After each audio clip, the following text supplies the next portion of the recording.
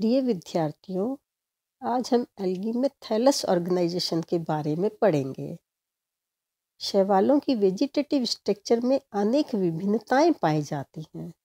ये unicellular, colonial, filamentous अथवा पैरनकैमिटस रूप में पाए जाते हैं। शैवाल का थैलस साधारणतः माइक्रोस्कोपिक से लेकर अत्यधिक विशाल तथा जटिल संरचना प्रदर्शित करते हैं। ऑर्गेनाइजेशन के बेसिस पर थैलस दो प्रकार के होते हैं।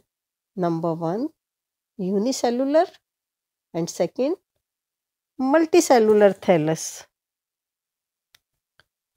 Unicellular thallus Phaeophyceae class के अतिरिक्त अन्य सभी क्लासेस में एक कोशिकीय थैलस पाए जाते हैं चूँकि इनमें जीवन चक्र की सभी क्रियाएँ एक ही सेल में संपन्न होती है, इसीलिए इन्हें ए सेलुलर भी कहते हैं। एक कोशिकीय सवाल कई प्रकार के हो सकते हैं। फॉर एग्ज़ाम्पल फ्लेजिलेटेड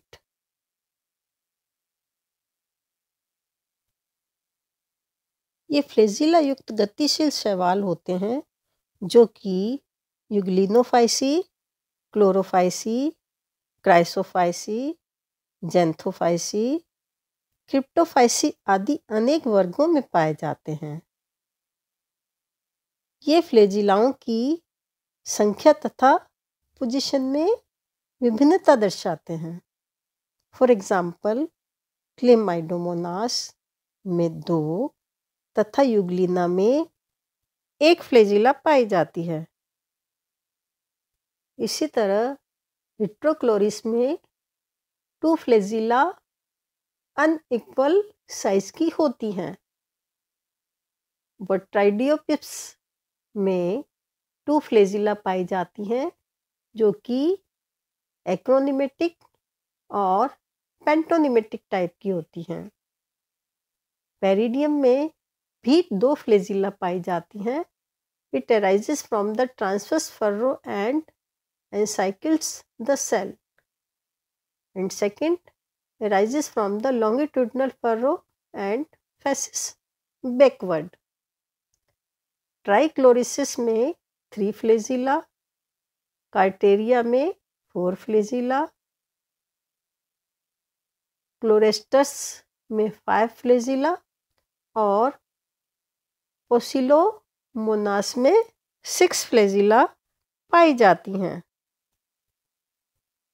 अमीबॉइड और राइजोपोइडियल इनमें सेल वॉल का अभाव होता है, साइटोप्लाज्मिक प्रोजेक्शंस जो कि स्यूडोपोडिया कहलाते हैं, उनके कारण इनकी आकृति निश्चित नहीं होती है।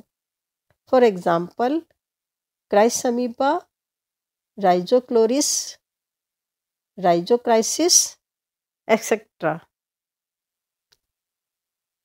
जैसा कि आप डायग्राम में देख सकते हैं। नॉन फ्लेजिलेटेड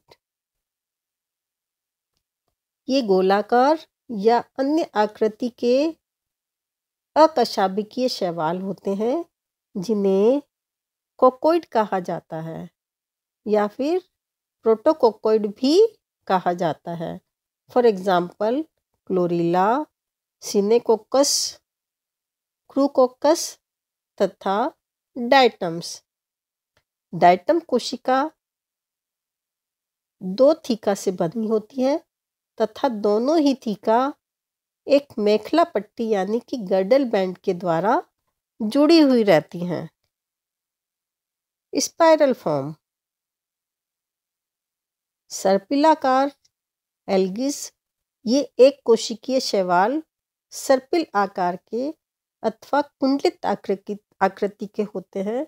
फॉर एग्ज़ाम्पल स्पाइरोलाइना जैसा कि आप डायग्राम में भी देख सकते मल्टीसेलुलर थैलस बहुकोशी के शैवालों में मुख्यतः छह प्रकार के थैलस पाए जाते हैं। Number one aggregation number two coenobium number 3 filamentous number 4th siphonous number 5th parenchymatous and number 6 equisetoid ये सभी थैलस एल्गिस के मल्टी सेलुलर थैलस कहलाते हैं मल्टी सेलुलर एल्गा सिनोबियम इस प्रकार की कॉलोनी निश्चित आकार और साइज़ की होती हैं। इनमें निश्चित संख्या में कोशिकाएँ पाई जाती हैं तथा एक विशिष्ट क्रम में अरेंज रहती हैं। इनमें कोशिकाओं की संख्या यंग स्टेज में ही निर्धारित हो जाती है और उसके बाद केवल इनके आकार में ही वृद्धि होती है। इन्हें सिनोबियम भी कहते हैं। ये दो प्रकार की होती हैं। नंबर वन, फ्लेजिलेटेड या motile, and number two non flagellated और नॉन मोटाइल फ्लेजिलेटेड, इनकी कोशिकाओं में कशाबिका पाई जाती हैं, जो आपस में प्लाज्मोडेस्मेटा के द्वारा जुड़ी रहती हैं। प्लाज्मोडेस्मेटा एक तरह के साइटोप्लाज्मिक कनेक्शन होते हैं। ये सामान्यतः आकार में गोलाकार होती हैं। For example Pandorina Eudorina and Volvox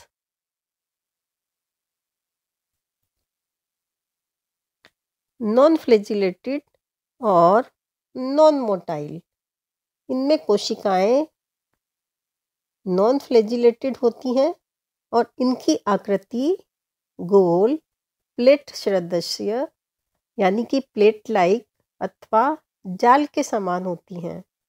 For example Pediastrum Scenedesmus and Hydrodictyon जैसा कि आप डायग्राम में देख सकते हैं, यहाँ पर हाइड्रोडिक्टियन का डायग्राम दिखाया गया है इस डायग्राम में आप पेडियस्ट्रम और सेनेडेस्ट्रम की नॉन फ्लेजिलेटेड सेल्स देख सकते हैं the colony of Pediastrum is shaped and is made up of closely arranged cells. In Senedesmus, the colony consists of 4 to 8 variously shaped cells which are parallelly arranged one above the others as a sack of coins. Aggregation और colony इनमें कोशिकाएँ आपस में समूहन करके अनियमित आकार की कॉलोनीज बनाती हैं। इनकी विशेषता यह है कि कोशिकाएँ डिवाइड होती रहती हैं, जिससे कि कोशिकाओं की संख्या में भी वृद्धि होती रहती हैं। इस प्रकार की कॉलोनी में कोशिकाओं की संख्या कॉलोनी का आकार अनिश्चित होता है। समूहन या कॉलोनी निम्न प्रकार से हो सकती है। जैसा कि आप डायग्राम में देख सकते हैं, number one,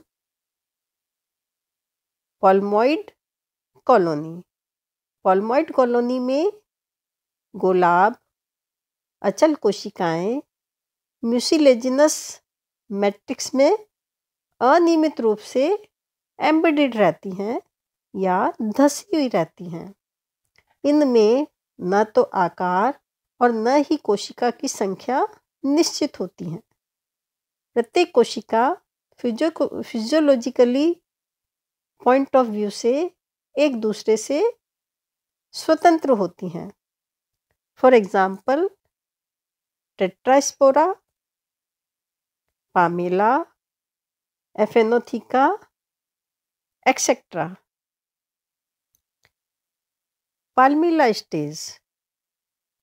कुछ एल्गीज में पालमीला स्टेज अस्थाई रूप से पाई जाती हैं।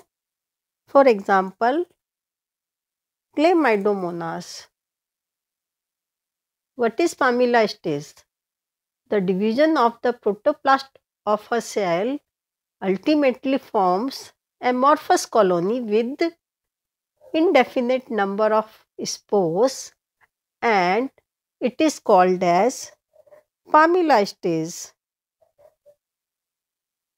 Examination के पॉइंट ऑफ़ व्यू से palmella stage is a very important and next dendroid form इसमें कोशिकाएँ एक दूसरे से म्यूसिलेस के द्वारा इस प्रकार जुड़ी रहती हैं कि उनका स्वरूप सूक्ष्म वृक्ष के समान दिखाई देता है या माइक्रोप्लांट के समान दिखाई देता है। डेंड्रॉइड कॉलोनी का भी आकार व साइज़ अनिश्चित होता है। फॉर एग्ज़ाम्पल क्राइसोडेंड्रॉन पेसिनोक्लेडस तथा Chamaesiphon etcetera next rhizopodial form इसमें कॉलोनी की प्रत्येक कोशिका आपस में प्रोटोप्लाज्मिक प्रोजेक्शंस के द्वारा, यानी कि राइजोपोइडिया के द्वारा जुड़ी हुई रहती हैं। For example Chrysidiastrum Rhizochrysis etcetera अब हम नेक्स्ट क्लास में फिलामेंटस फॉर्म के बारे में स्टडी करेंगे।